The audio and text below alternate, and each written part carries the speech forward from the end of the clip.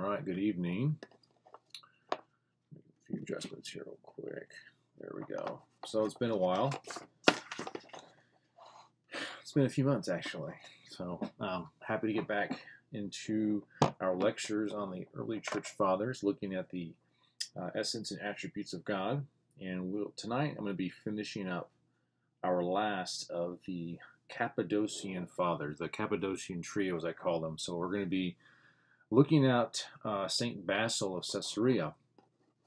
So the works that we're going to be reading through tonight, well, the works I'm going to be drawing, where I've drawn my, my exposition of their theology from is uh, Against Eunomius and On the Holy Spirit. So Against Eunomius, and I'll explain more as I get into it, is uh, three books, kind of broken down uh, through key, key, you know, key distinctions we'll talk about, and then his last one is the uh, on the Holy Spirit, which is a which is a very much needed work at this time. So I shall get started. So so we come now to our last of the Cappadocian fathers, but not the least. He was considered the leader of the three, a bulwark in the attack against the Arians in the later fourth century. Basil of Caesarea from 329 to 379, so a, a somewhat kind of a short life, but a very powerful one. Also called Basil the Great, was the leading figure of the group of three Cappadocian fathers who championed Nicene orthodoxy against the Arians in the later 4th century. He thus became the chief architect of the Cappadocian doctrine of the Trinity, which became the definitive doctrine for the East and the West. Now, Basil, he denies the, that unbegottenness is an adequate definition of the essence of God and defends the doctrine inherited from Origen and Athanasius of the eternal generation of the Son. The generation of creatures is physical and temporal. The generation of the Son is ineffable and eternal. Here Basil makes the distinctive contribution to Trinitarian doctrine. Athanasius in the older Nicenes had defended the deity of the Son by insisting that he was consubstantial with, of the same essence or substance as the Father. Now, Basil made a distinction between ousia and hypostasis, which confusingly may also be literally translated as substance, and thus used interchangeably. He spoke of the one ousia of God, but three hypostases the hypostasis of the Father, the hypostasis of the Son, and the hypostasis of the Holy Spirit. And ultimately, this became the definitive doctrine of the Trinity in the East. So I mentioned the two key works are going to be Against Eunomius, which is a a refutation of the apology of Eunomius, who was an Arian extremist. And his other work is On the Holy Spirit, which is one of the first treatises on the Holy Spirit from the church fathers uh, that we have seen today. So, the heresy of Arius not only lowered the dignity of the Son, he lowered the Spirit as well. And during the Arian controversy, the attention centered mostly on the Son. In fact, the Arian creeds did not directly attack the divinity of the Spirit. However, they did not affirm his unity was with the Father, or with the Father, excuse me. The doctrinal status of the Spirit remained in the foreground, and this created more confusion as the debate continued. The doctrinal unity on the Trinity regarding the divine persons needed to be ironed out, and a gentleman by the name of Amphilochius, he was cousin to Gregory of Nazianzus and a friend of Basil, he visited him in 374 and he urged him to produce a work that would hammer this out once and for all. And so he did. And he removed all doubt as to the nature and person of the Spirit, fully divine, God of God, and one with the Father and the Son. So Basil's Against Eunomius is divided up into three parts or three books. The center of the debate is not on whether we are to use the names like Father and Son and Spirit or whether to apply the term God to Father and Son, but rather it is how to divide up or to switch metaphors, how to map the territory. It is about what is meant when God is said to be the unbegotten or Father or good, not whether one should say these things in the first place. The main themes of Basil's response are 1. The role of conceptualization in theology, 2. The distinct, I'm sorry, the distinction between positive and negative theological terms, 3 the distinction between names said in common of the Father and the Son in names specifically of each, and four, the distinction between what is true of God in se and from eternity and what God has done on behalf of humans, where whose perspective is inherently temporally structured. And I pulled that part from the introduction uh, of Against Eunomius. So, book, book one. Basil begins by engaging in argumentation about, sorry, in argumentation about the nature of human speech about God, termed in the Greek epinoia, which we would call conceptualization. More defined, it is the activity of reflecting on and identifying the distinct qualities or properties of something. Now, Eunomius asserts that we cannot know God by this, by this way, this conceptualization or epinoia as in the Greek. Basil responds in detail, explaining this process that we actually do this all the time. His point is to demonstrate how Scripture accommodates divine, I'm sorry, uh, Scripture accommodates the divine to human capacities. Basil gives the example of grain. One looks at a simple grain seed and sees one little piece of grain. However, when examining it in detail, one can see, can conceive or conceptualize different designations to indicate the different things that we have conceived. The grain at one time was called fruit, another seed, and another time nourishment. These categories are assigned based on the different times or stages of the grain's life planting, harvesting, then consuming. Basil notes that such concepts do not dissolve after utterance, which is a, a phrase you name, Eunomius used. Rather, quote, the concepts remain settled in the soul of the one who has conceived them, end quote. To sum it all up, Basil writes, Generally speaking, all things recognized through sense perception, in which seem simple in substrate, which is the, the substance of the thing, but which admit of a complex account upon further consideration, are said to be considering through the conceptualization. End quote. So now Basil is going to move into this practice, theologically speaking. So in Scripture, Christ gave himself many names, such as the door, the way, the bread of life, the vine, the shepherd, and the light. Now, while Christ is one, simple, not composite, he references himself by many other things which differ from each other as well. And he does so based on his quote, sorry, based on quote, his different activities and his relation to the objects of his divine benefaction or gift, end quote. Now, I'm sorry, I'm going to be saying things and I'll probably forget to say quotes at times, but uh, I will try to make sure I do that for you guys. So to note a few, Basil writes that Christ calls himself, quote, the light of the world, because he illumines those who have purified the eye of their soul with the splendor of his knowledge, end quote. And the vine, because he nurtures those who have been planted in him by faith, so that they bear the fruits of good works, end quote. So in doing epinoia, we can conceive of God's redemptive work through the association of, of real things that we can sense in the world thus enabling believers to grow deeper in their knowledge of Christ. John Behr, commenting on this passage, notes, We do not reflect on the essence itself, but on the way in which it appears to us, the manner in which it presents or reveals itself, in other words, its activity or energeia. Therefore, Basil questions, why then can we not have a conceptual framework for the unbegotten God of the universe? The term unbegotten is the focal point of the entire debate. And Basil writes, and this is a large block quote, he says, We will discover that the same unbegotten is said in no other way. For we say that the God of the universe is incorruptible and unbegotten, designating him with these names according to various aspects. Whenever we consider ages past, we find that the life of God transcends every beginning and say that it that he is unbegotten. Whenever we stretch our mind forward to the ages to come, we designate the one who's without boundary, infinite, and comprehended by no terminal point as incorruptible. Therefore, just as incorruptible is the name we give him because his life is without an end, so too is unbegotten the name given because his life is without a beginning, when we consider each through conceptualization. What reason could there be then for denying that each of these names is conceptualized and that they, can, they constitute a confession of what truly belongs to God. End quote. So Eunomius claims that human conceptualization of God dishonors him. Calling him unbegotten is to confess that he is what he is, which Eunomius says God's substance is unbegotten. Right? That's the big mistake here. I'll keep reading.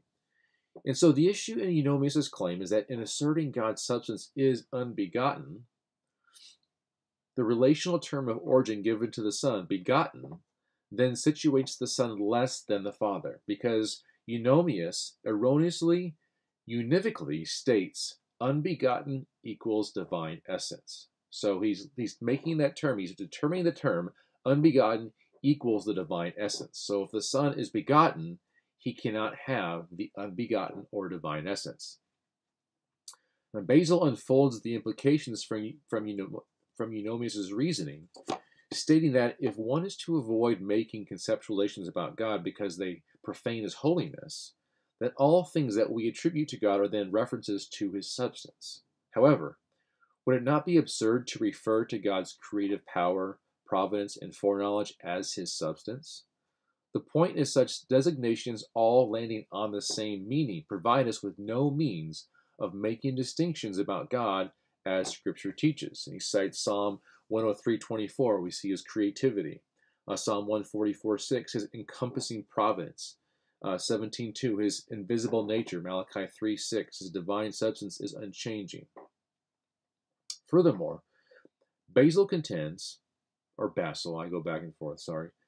Basil contends that if we follow Eunomius' logic, then, we, then he actually refutes himself because Scripture makes the same designations about the Son.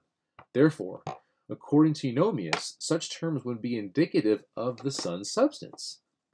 But he doesn't apply this method in references to the Son, which reveals Eunomius' reasoning is arbitrary. Utilizing epinoia allows us to mediate, I'm sorry, meditate on the fullness of God's splendor, speaking of his attributes about what God is like, while avoiding stating what God is.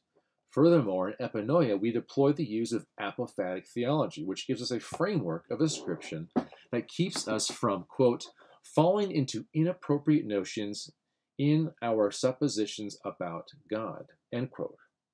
When we say that God is incorruptible, we are saying that God is not subject to corruptions.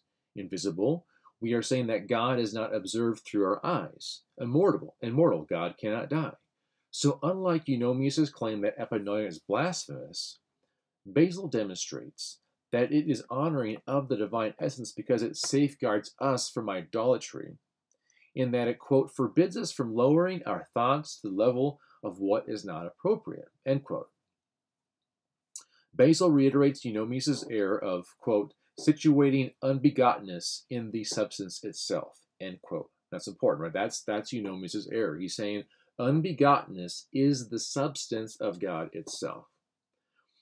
With that said, Basil affirms one side of the equation, of the equation quote, the substance of God is unbegotten, end quote, just not the inverse. Furthermore, Basil finds it important to remind Eunomius that, quote, Partlessness and simplicity are the same thing as far as the notion is concerned. For that which is not composed of parts is partless. Similarly, that which is not constituted from many elements is simple. Now, Basil issues this rudimentary lesson because it appears that Eunomius has forgotten simplicity and its entailments. To show the absurdity of Eunomius' thinking, Basil engages in a discussion about our lack of rational knowledge about the earth, its parts, its form, along with human sensations, and that through sense perception we can comprehend the elements all around us. But in no way, in no way are we able to comprehend them rationally speaking. While we can distinguish between hard and soft, heat and cold, in such other things we would not attribute softness as its substance. Therefore, it is of the quote, utmost insanity to think we can comprehend the divine essence, attributing unbegottenness to its substance. But Basil returns to Scripture to demonstrate the mode of knowledge we attain about God and the way we attain it. He writes, quote, It is to be expected that the very substance of God is incomprehensible to everyone except the only begotten and the Holy Spirit but we are led up from the activities of God and gain knowledge of the Maker through what He has made, and so come in this way to an understanding of His goodness and His wisdom. For what can be known about God is that which God has manifested, right, Romans 1:19, to all human beings. The emphasis on the activities of God in which the world was made points us to the quote way of causality, in that whatever effect is observed, the cause the cause has relation to it. That's a common thing, right? The cause and effect are related to each other, and we work our way up to cause by the effect. And the effects that we see, which demonstrate goodness and beauty, brings us to the conclusion that God is good and beautiful. In Scripture, thus God expresses himself in figurative language so that we can associate what we comprehend with what we cannot comprehend, which is the divine essence, right? It becomes this backdrop, right, for us to understand God through the things he has made. And Basil notes that Eunomius' error of directly applying anthropomorphic language in Scripture to God literally is what the atheists do. And this is clearly not what the Scripture intends for us to do. If we do, Basil writes, then we would have to conclude that God has loins of amber, as we see in Ezekiel 8 2. 8 2. He is a consuming fire, Deuteronomy 4.24 and has hair like the whitest wool, Daniel 7 9.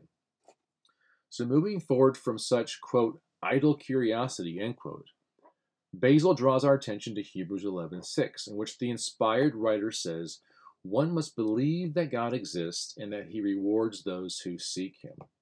Now, Basil's point in referencing this passage is in line with what I said earlier. The divine essence is incomprehensible and ineffable to human nature and we must therefore examine unbegottenness itself. In doing so, quote, we find that our notion of unbegottenness does not fall under the examination of what it is, but rather, and here I am forced to speak this way, under the examination of what it is like. Right? We can't know what it is, but what it is like. End quote. Well, the quote ended a while ago. Anyways, thus we consistently apply the distinction between positive in negative terms in our God talk. Therefore, unbegottenness, quote, does not signify his what, but that he is from no source. And then he refers to Luke's genealogical account in 323 to 38.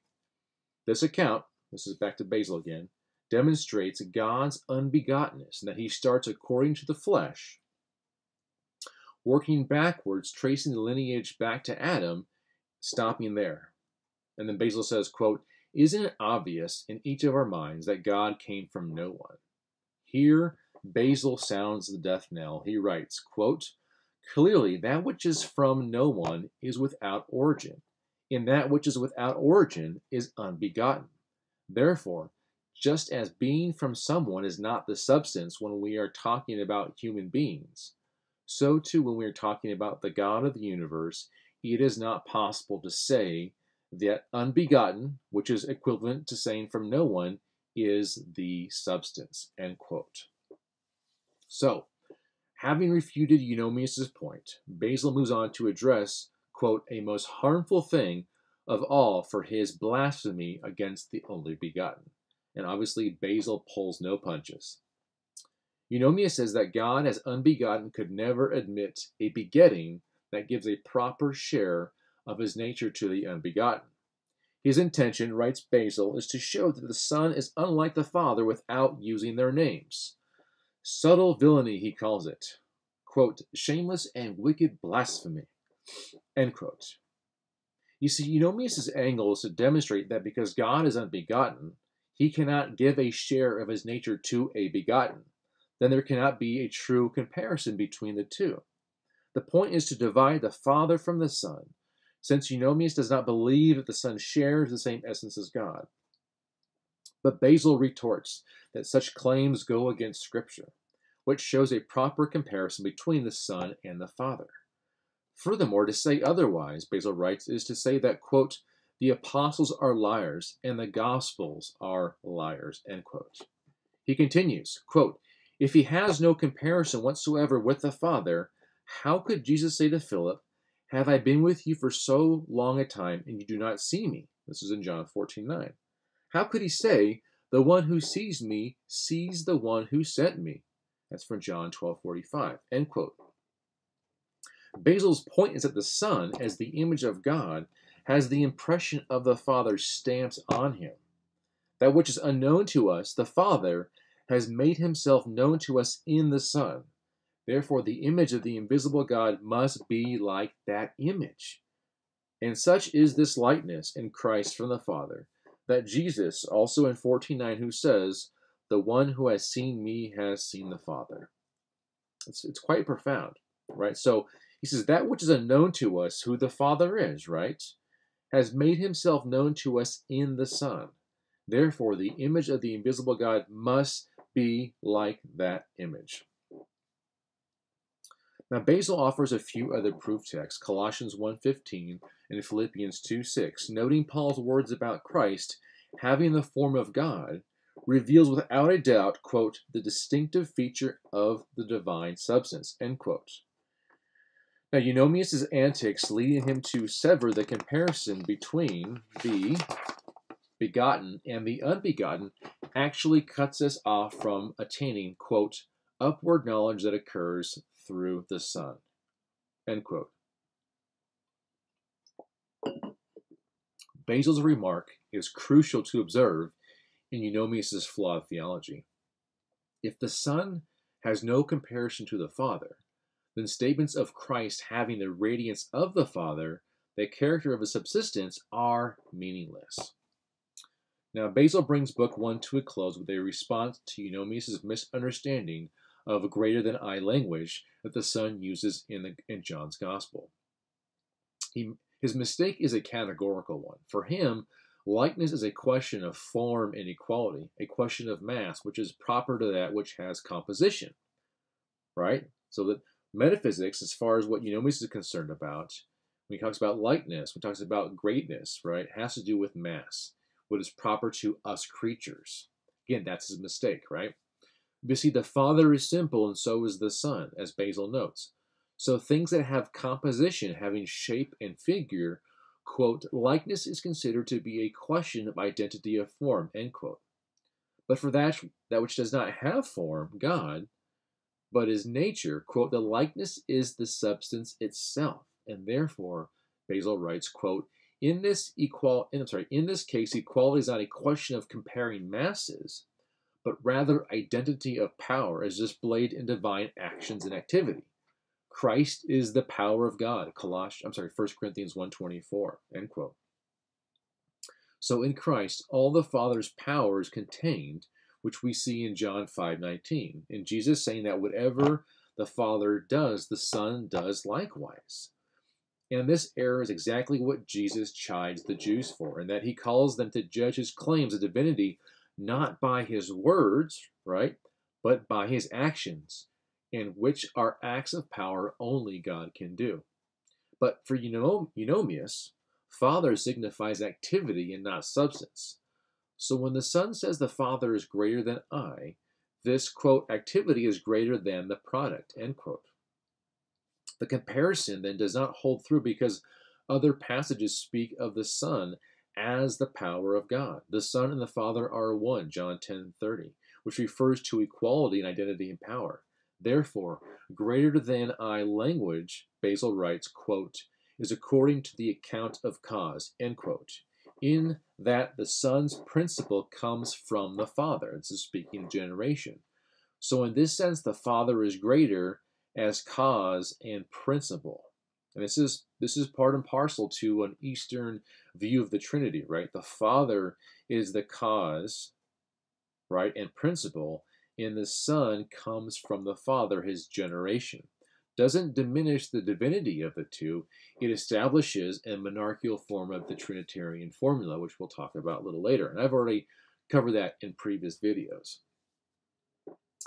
So, and while the distinction is a relation of origin, the Father is unbegotten, the Son is begotten, because the equality in identity because of the equality in identity and power, the Father's substance is not greater than the Son's substance because they share the same essence. And we have to conclude as much because God declares that He is one God. So here we see Basil's consistency pays off in that he doesn't confuse categories in his theological language as observed in Eunomius. Okay. Book 2. The title of Book 2 is On the Son. He opens his work in response to Eunomius' blasphemies against the Son, whereby he refers to him as something begotten, gennema, which is the Greek word or offspring, and something made, poiema, which is a product or work, to make something to do. Now, Basil states such a claim has never been made about the Son. He cites various passages that speak about the things that are made in creation Genesis 1 1, Psalm 142 5, and Romans 120. While there are passages that use metaphorical references of, or figurative language employing terms pertaining to things that are made, rock, river, door, etc., about Christ, nowhere in Scripture do we see any writer referring to Christ as something made. That's important because the the discussion has to is you know circles circles around Christ being a created being. But nowhere do we ever see anything about that towards Christ. And that's an important piece, which I think is overlooked quite a bit. So, in the following section, again, we're in book two. In the following section, we now see Basil unpacked the theologia and the economia, right, where he engages in discussion on Christ's eternal divine being apart from his works, right? So that'd be the theologia, Christ in himself, and the outer works, economia. Economia, or economy, however you want to say it. So economia, in reference to the unfolding of the redemptive drama, that's another usage of it as well, is where we see the outworking of the Father, the Son, and the Spirit. Basil must move in this direction because Eunomius is trying to edge his argument based on the incarnation, the beginning of the Son in time and space, arguing that the apostles were communicating about his substance in his human manifestation. So Philippians 2 7, 2 Corinthians 13 4, and Acts 2 36. Basil returns, stating, quote, He who said God made him Lord and Christ is speaking of his rule and power over all, which the Father entrusted to him. He is not describing his arrival at being. End quote. So Eunomius' mistake Eunomius' mistake was to transfer the expression he created to the original beginning of the only begotten. Lord does not denote his substance, but the economy of Christ as Lord, possessing power and rule over all creation. Uh, the brilliant, uh, the late brilliant John Webster would refer to this as his enactment, right? So it's not about him coming into existence, this is the enactment of what has already been declared about the Son in time and space. Again, that goes back to the to the error of blurring or conflating economy and theolo- theology or theologia and economy together, right? These things are already uh, are already stated about Christ. The declaration in Scripture, the manifestation of Christ uh, in the person of Jesus Christ, is the enactment to show the relations to show that he already has this power. Now it's being revealed to us in time and space. Uh, Basil outlines the absurdity of Eunomius' methodology in assuming names mean substance, and it also means different substance. Peter and John have different names, but both share the same substance. It is, quote, their distinguishing marks considered in connection with each one of us that we are different from each other, end quote. Names do not imply substance. Rather, the name determines the character of an individual. And Basil goes on to speak about biblical figures such as Paul and all the distinguishing marks we associate with him, encompassed in the name Paul. Here, Basil, in a warm tone, says, quote, There is no one so stupid and so inattentive to the common nature that he would be led to say this names equals substance, end quote. For example, if we followed Eunomius' univocal designation method, then, Basil notes, when Scripture refers to human beings as gods, then we would be led to say that they have the same substance as the God of the universe. Quote, that is sheer madness, end quote. And Eunomius's, quote, logic here is equally crazy, end quote. Therefore, in line with the economy, the names Father and Son do not communicate the divine essence, but rather they, quote, are revelatory of the distinguishing marks of the divine persons. I hope you can see the, the clean logic here. And that's that's where even modern day Arians, as we call them, or even just relational relational theologians get caught up in this too, is is blurring the lines between theologia and economia. We have to understand here, right? So these things are already distinguishing marks. The names given to them that we understand is the revelation of those marks of the divine persons. So Basil's onslaught is intense. Key passages, John 1 1, Hebrews 1 3, serve at the front of his attacks. A plain reading of these passages becomes a stumbling block for Basil's opponents. And this stems from the metaphysical foundation that supports the dogmatic claims derived from the text. Basil takes them for granted because they have been deployed to develop a consistent theology, metaphysically and economically speaking, so theologically and hermeneutically, as we would also say. The theological grammar provides a consistent manner of exegesis that, when used in refutations, is quite dumbfounding because the errors being refuted are addressed through what is a very basic and logical approach, leaving us, reading 1700 years later, scratching our heads that one could arrive at such absurd conclusions. In Eunomius chapter 2, section 15, for example, Basil asked the question, rather rhetorically to Eunomius, quote, Was God the Word with God in the beginning, or did the did he supervene later? Well, in John's account, in the beginning was the Word, and the Word was with God, and the Word was God. For Basil, this seems basic. He writes, quote, The Son's existence from eternity, his begetting without passion, his con- connaturality with the Father, the majesty of his nature, all these points he, speaking of the Apostle John, covers in a few words. So by including was, he guides us back to the beginning, end quote. Basil references other passages, John 1, 4, and, and verse 9, that demonstrate the eternity of the Son. Eunomius rejects the Spirit's testimony about the only begotten, who was with God and is God. He was begotten, Eunomius will say, but it was not in the beginning, according to a sensible reading of the Apostle John's words, as they would have it. Basil is very passionate about giving the proper glory due to the Son. He refers to the importance of avoiding, quote, corporeal comparisons and, quote, material imaginations, that we are to take our cue from the Spirit authored Scripture, who has transmitted to us in the Holy Word, quote, a begetting that is worthy of God, one without passion, partition, division, and temporality, being led to the divine begetting in a way consistent with the radiance that shines from the light. End quote. It's a beautiful, beautiful text. And Basil directs us to the light of revelation in Colossians 1.15, that of the Son as the invisible image of God, quote, co-existent with and subsides with the one who, with the one, sorry, with the, oh, sorry, it's a typo on my thing.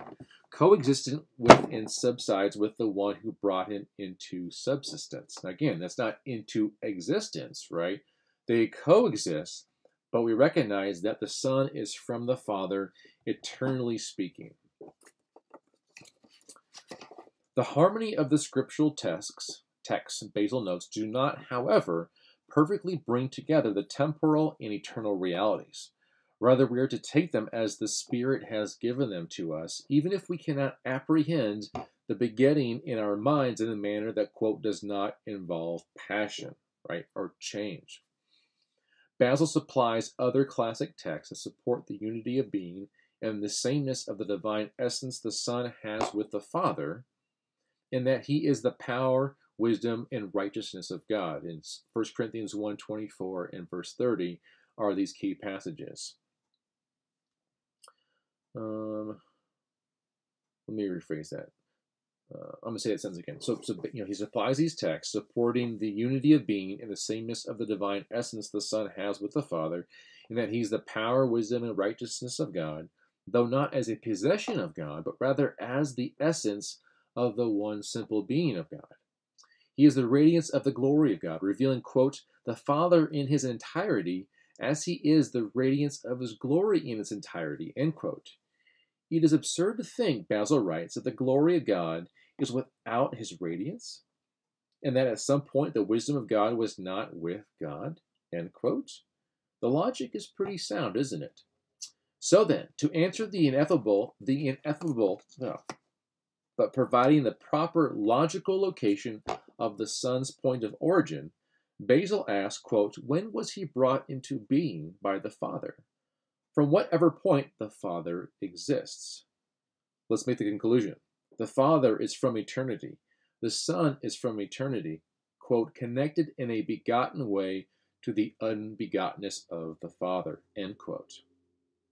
Eunomius denies these notions because to him, the Father as eternal is the same as, quote, without beginning. Thus he is unbegotten, having no cause of his own being. But because the Son is said to be begotten, right, there's that phrase, begotten, thus he has a cause to his being and is not eternal. Eunomius's blasphemous views, noted here, caused Basil to go off the rails. Quote, we do not construe the only begotten as having a substance in common with those which have come to be from nothing. Right? He's speaking of creatio ex nihilo. He's speaking of us creatures, come to be from nothing. For that which is nothing is surely not a substance. Rather, we allot him as much superiority as the Maker necessarily has over the things he himself has made. A few pages later, Basil offers a quick but insightful logic of how God commanded creation to be, referring to Psalm 148.5, with the intention of demonstrating to Eunomius that the Word is not some, quote, lifeless instrument. He writes, quote, How do we say that all things come into being from the Son? In this way, the divine will, taking its origin from the primal cause as from a kind of spring, proceeds to activity through his own image God the Word. This contrasts with Eunomius, who thinks of the Son as some kind of minister, administering the things that have been assigned to him as like some type of soldier or something.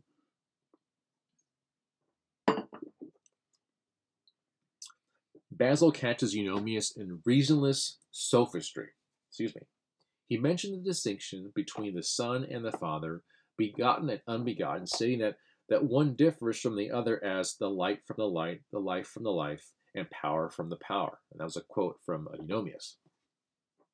But here, Basil's reaction, quote, Behold and grasp the horrible blasphemy, end quote. How can one differentiate the concept of light from light? It makes no sense. When you look at a light, can you distinguish between the lights that come from the light? Can you distinguish from two lights, from fire from fire, if they're together? You, you can't, right? It actually makes no sense. These comparisons cannot be measured. And Basil, seeing the inconsistency, unravels Eunomius' entire position. The Son is the true light, John 1 9. If the Father is the true light, then how can one be a lesser true light? Is the Son a dimmer light than the Father? Christ is the life, John 14 6. The Father is a life as well, right? Can there be a lesser life? As noted, it makes no sense with it makes no sense, and with ease, Basil pulls apart his argument. Now he tones it down a little bit, moving into a precise articulation identifying the error and supplying a clear designation of the divine essence and economy, showing there is no contrariety in the divine substance. And I'm going to quote Basil here at length. It's a long section. Get my jaws ready here. If anyone wants to accept that which is true, namely, that begotten and unbegotten are distinctive features that enable identification and are observed in the substance, which lead to the clear and unconfused notion of the Father and the Son, then he will escape the danger of impiety and preserve logical coherence in his reasoning.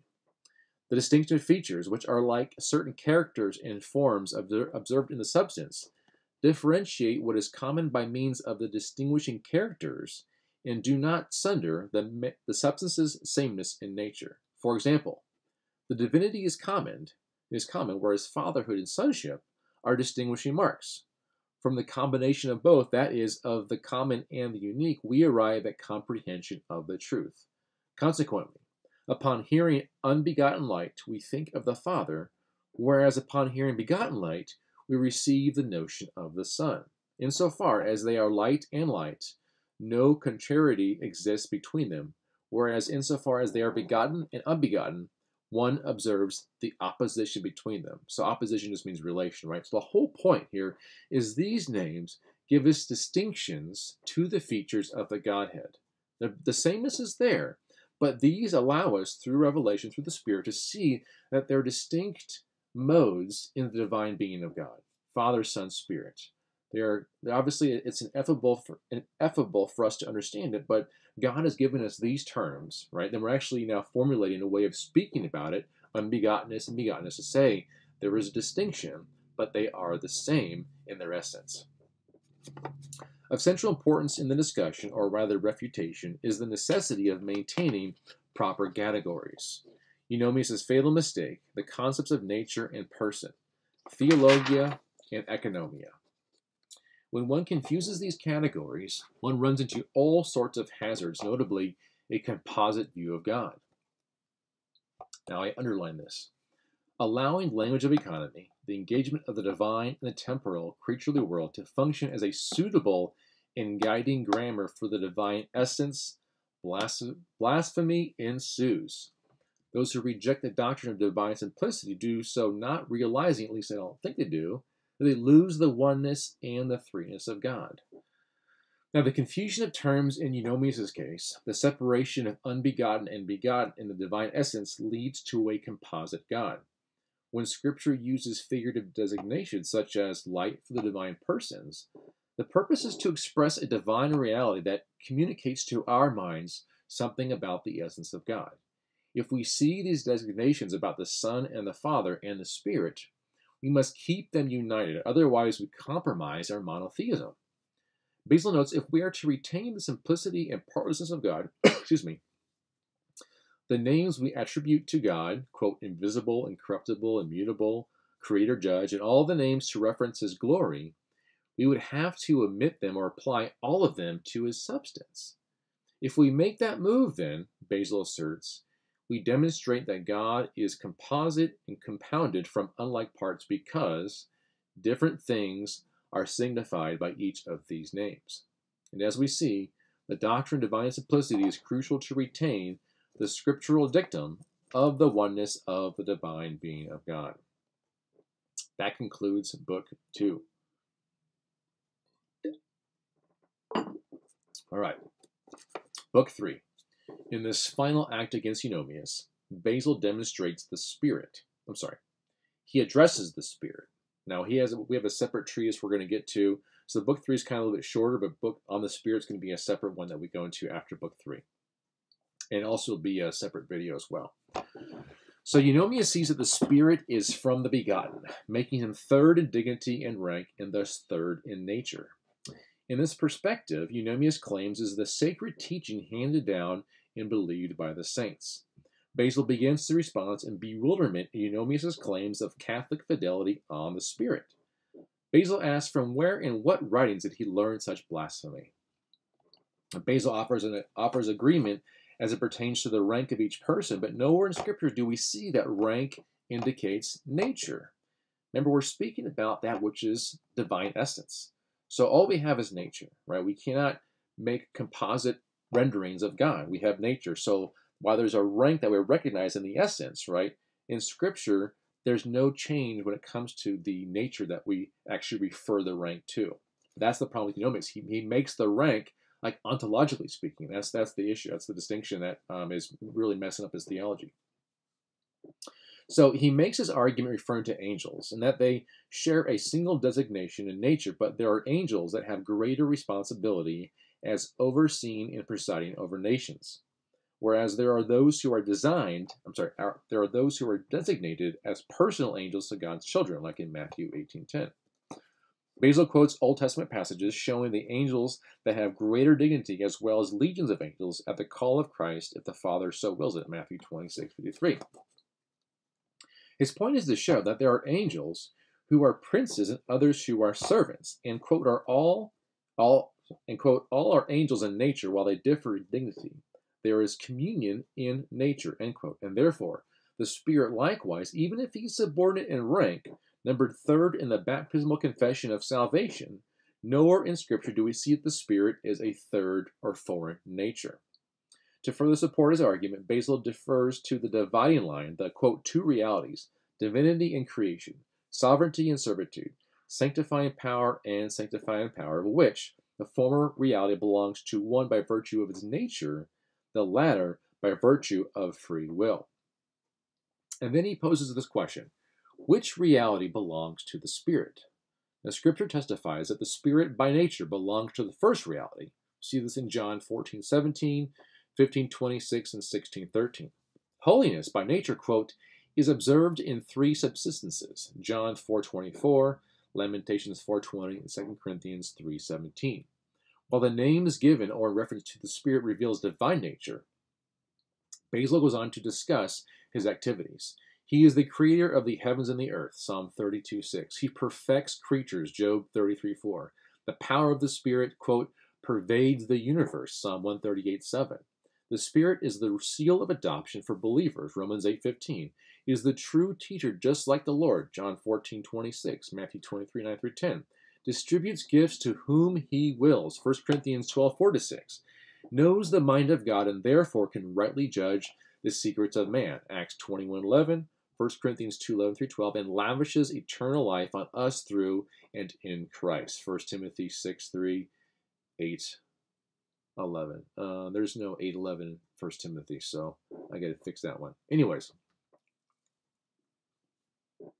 In light of the scriptural testimony to the nature and activity of the Spirit, he does not have a third nature, but has the one and only divine nature shared by and in the Father and the Son. Eunomius insists that the Spirit was created by the Begotten. Really bad, right? Really bad. Quote, bereft of divinity and creative power, end quote.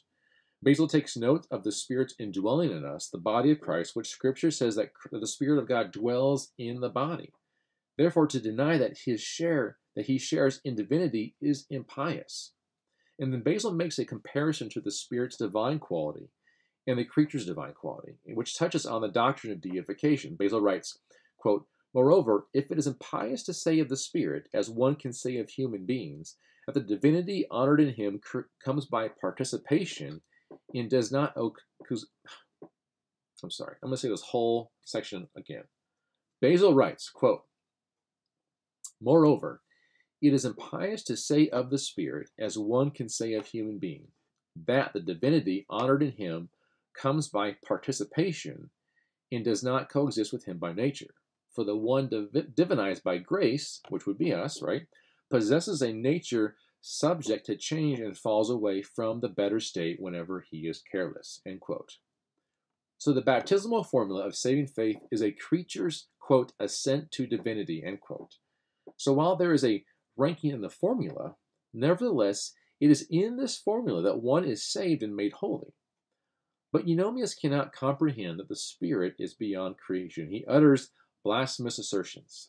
And Basil appeals to our finitude and inability to know the spiritual things. However, in our ignorance and lack of epistemic breadth of all reality, even the things we can see, we have been taught through divine revelation that the Spirit is one with the Father and the Son, in which we confess as the Blessed Trinity, thus also preserving the singleness of the Trinity. Basil's last book about the Spirit is short, but he has another treatise on the Spirit, which is much more theologically rigorous and detailed in its exegesis, and is one of the first works to focus, focus expressively on this on the Spirit. And I will save that for my next video. But this was again, this was uh, Basil's response to Eunomius. I recommend reading it. Obviously, I gave you almost 11 pages, single spaced, uh, of all the exposition I could find on it that I went through, but there's much more in there to go through, and I hope this was helpful. And so our next video will be more specifically on the Spirit, and it's a it's a fantastic book. I look forward to presenting it to you guys. So hope that was good for you.